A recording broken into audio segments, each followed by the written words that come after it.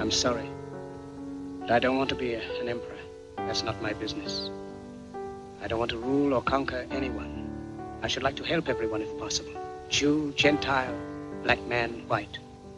We all want to help one another. Human beings are like that. We want to live by each other's happiness, not by each other's misery. We don't want to hate and despise one another.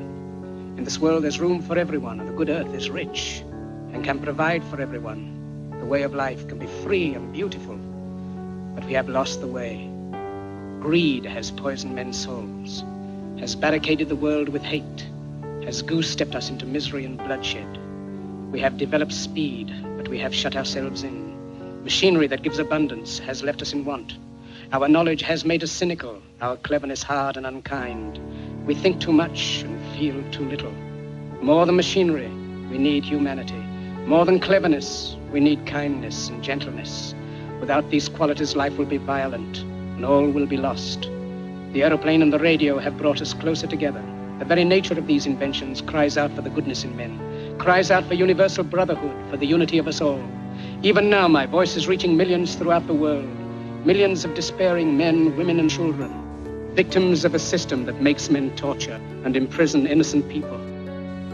To those who can hear me, I say, do not despair. The misery that is now upon us is but the passing of greed, the bitterness of men who fear the way of human progress.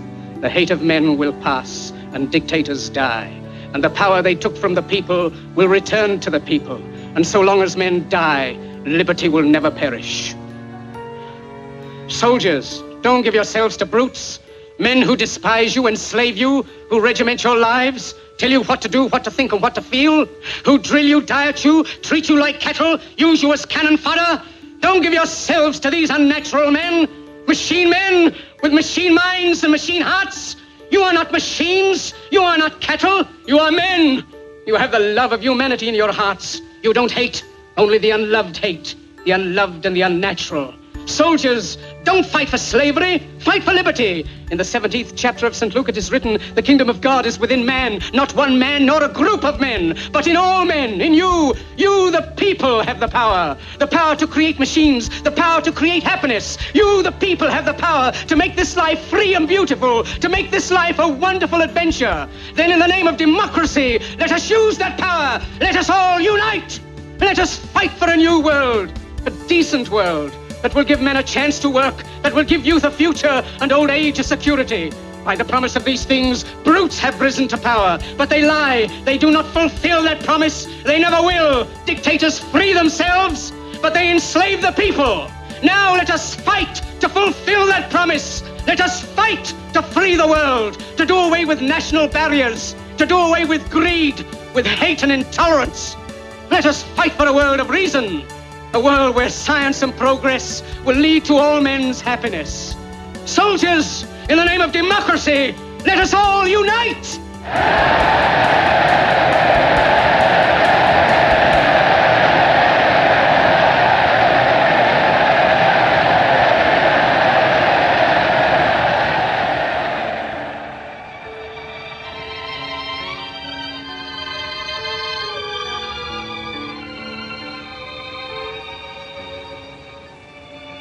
Hannah, can you hear me? Wherever you are, look up, Hannah. The clouds are lifting. The sun is breaking through. We are coming out of the darkness into the light. We are coming into a new world, a kindlier world, where men will rise above their hate, their greed, and brutality. Look up, Hannah. The soul of man has been given wings, and at last he is beginning to fly.